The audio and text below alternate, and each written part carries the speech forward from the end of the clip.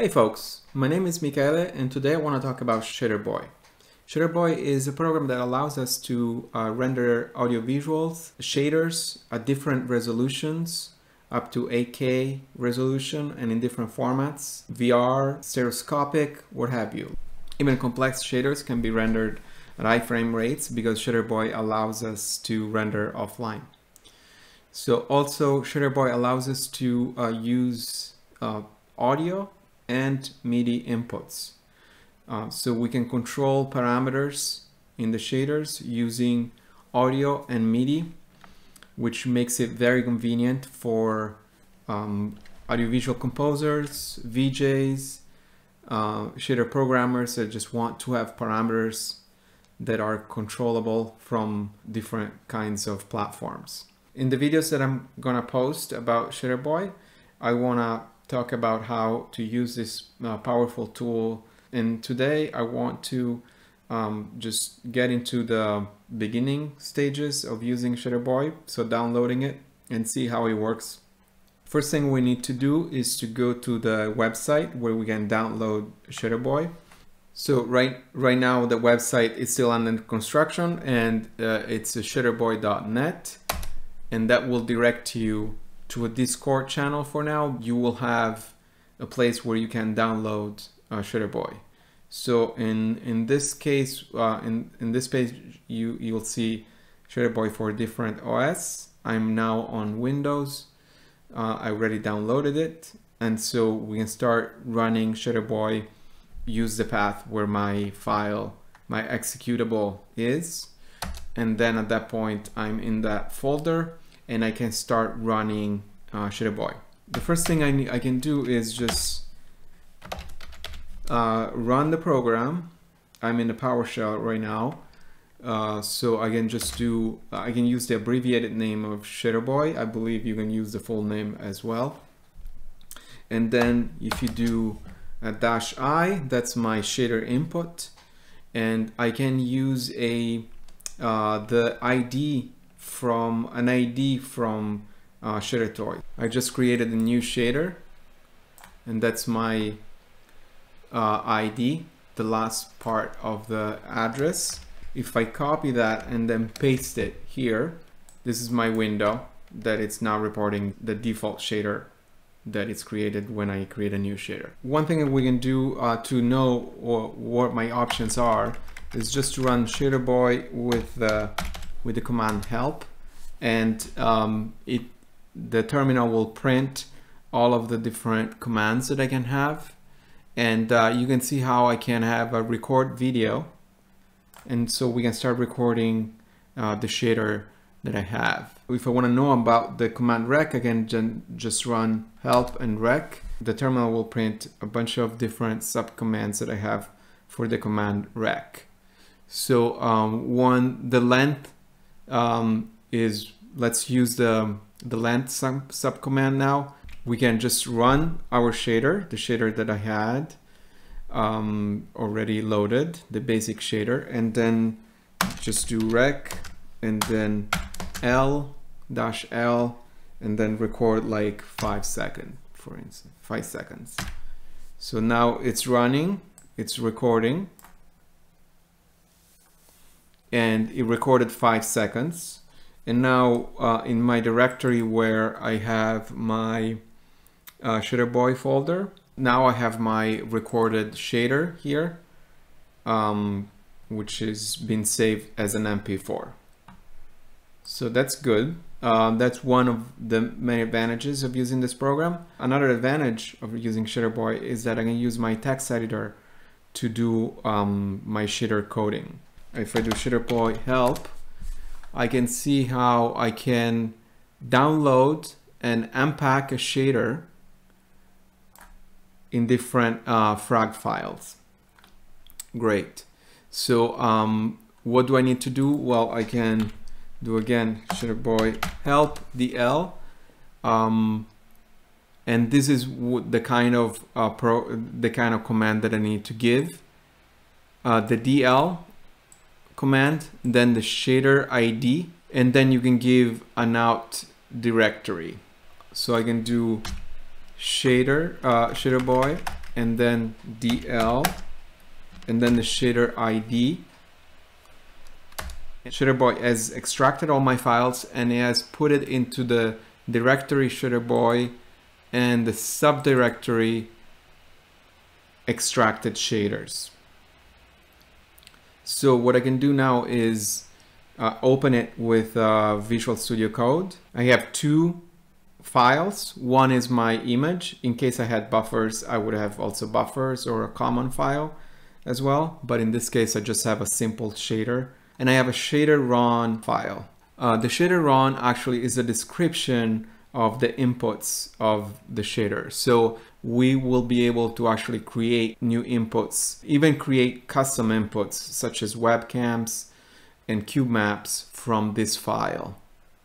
Uh, in this case, I have loaded already in my ShaderToy I already had created one input. This is the input that it's required for us to be using MIDI, uh, a MIDI input into the shader.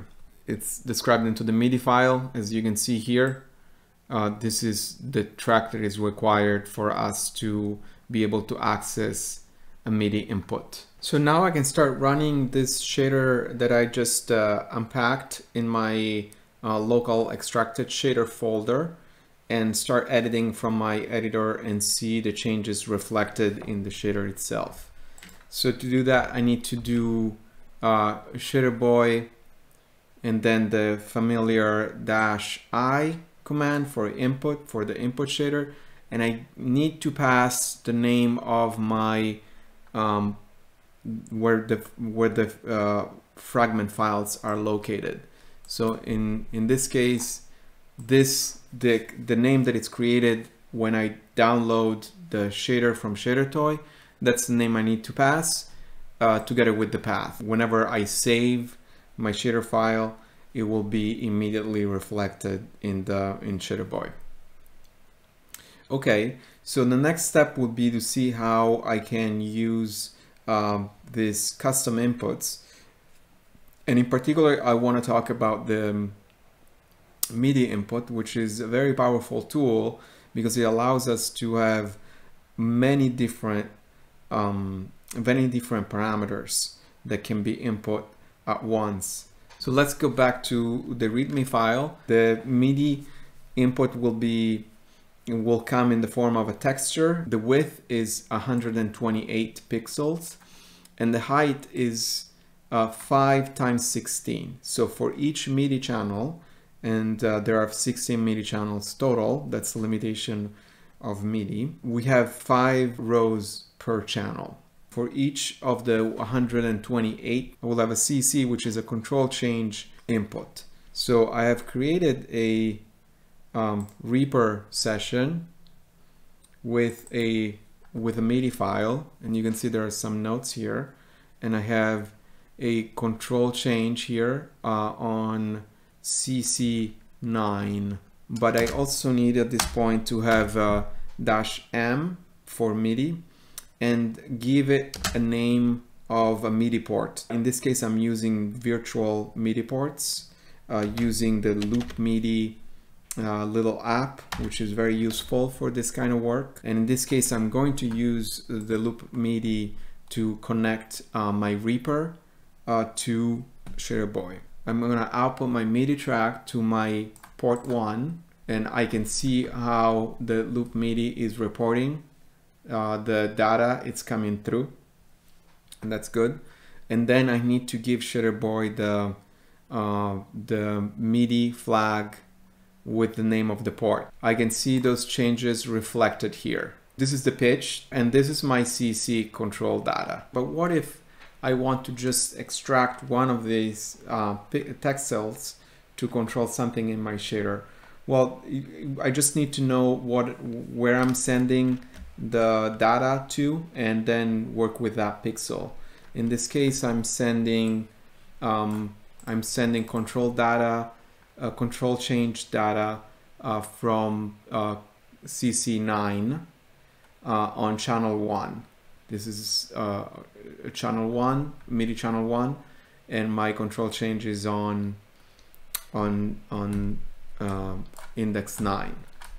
So I can just uh, extract this and I what I need to do is to do um, just get a float uh, that's gonna be from i channel 0 and then ivec2 and my x position is gonna be 9 which is my uh, CC, the CC I'm using, is going to be on the third row.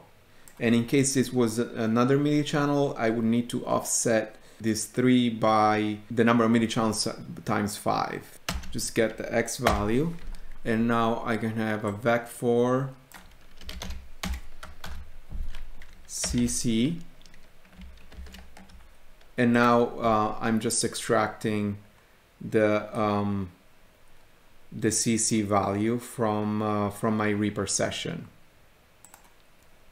So if I change, if I now change my, um, if I now change my CC data to something a little more erratic, uh, that will be reflected in my window. Crucially, this uh, will be also uh, can be done through a MIDI file. So I can have MIDI data saved in a MIDI file uh, as complex as I want. And then I can use that MIDI file to control the shader over time.